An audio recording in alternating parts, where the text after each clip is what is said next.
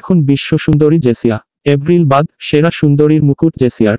ঘোষণার পর থেকে অব্যাহত সমালোচনার মুখে বাংলাদেশের সেরা সুন্দরীর মুকুট হারালেন জান্নাতুল নাইম এপ্রিল। তার পরিবর্তে মিস ওয়ার্ল্ড প্রতিযোগিতায় অংশ নিতে চীনে যাচ্ছেন পুরান ঢাকার মেয়ে জেসিয়া ইসলাম।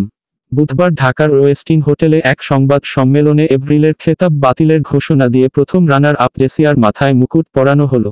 তার মাথায় মুকুট পরিয়ে দেন বাংলাদেশের খ্যাতনামা ফ্যাশন ডিজাইনার বিবি রাসেল। তাৎক্ষণিক প্রতিক্রিয়ায় নতুন মিস ওয়ার্ল্ড বাংলাদেশ জেসিয়া বলেছেন, অনুভূতি ভাষায় প্রকাশ করতে পারছি না।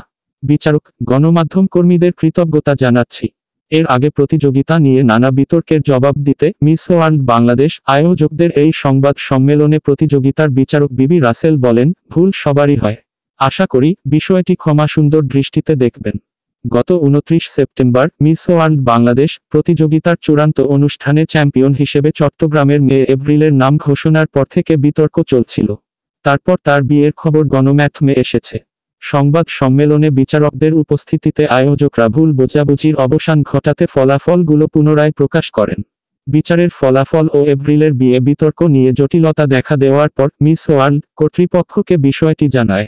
ওই বার্তা পাওয়ার পর অন্তর শোবিজ মিস ওয়ার্ল্ড, বাংলাদেশ, এপ্রিলের খেতাব বাতিল করার সিদ্ধান্ত নেয়।